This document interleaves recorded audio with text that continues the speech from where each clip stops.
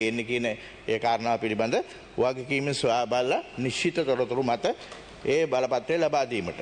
දැනට මේ බලපත්‍ර තාම එකක්වත් නිකුත් කරලා නෑ වාහන ආනය කරලත් නෑ දැන් ඔවුන් මේ පිළිබඳ සමාලෝචනය ඉල්ලුම් ඉදිරිපත් වෙලා තියෙන ඉල්ලීම් පිළිබඳ සමාලෝචනය කරමින් පවතින බව යාවත් කාලීන තත්ත්වය පිළිබඳ සොයා බැලීමේදී මට දැනගන්න ලැබුණා. පුළුවන්.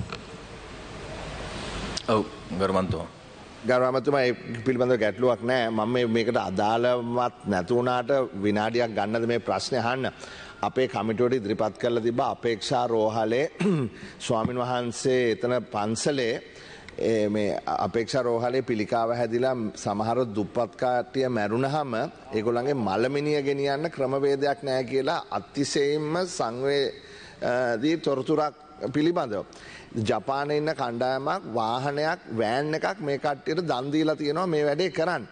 ඒක වරායි හිරවෙලා තියෙනවා ලක්ෂ විස්සිගාන් ලක්ෂ තිහද්ද කොහෙද සමෙන් මිලියන තිහක ඩියුටිය එකක් ගෙවන්න කියල තියෙනවා මේක රිලිස් කරගන්න.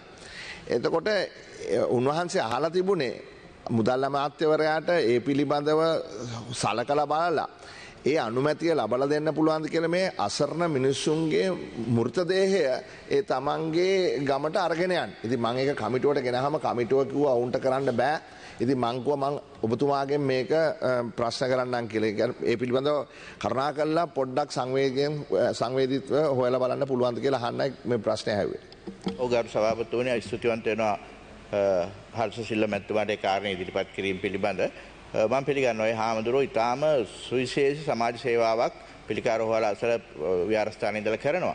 හැබැයි අනිස අපි විදාකාරය උදව්ත ලබාදීලා තියෙනවා.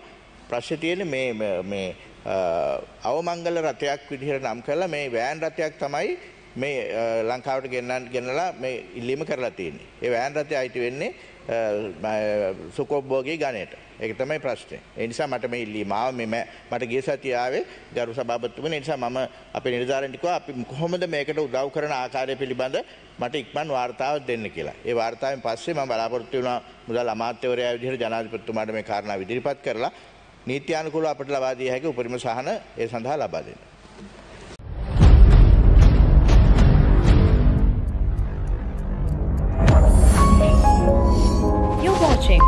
Traveler channel.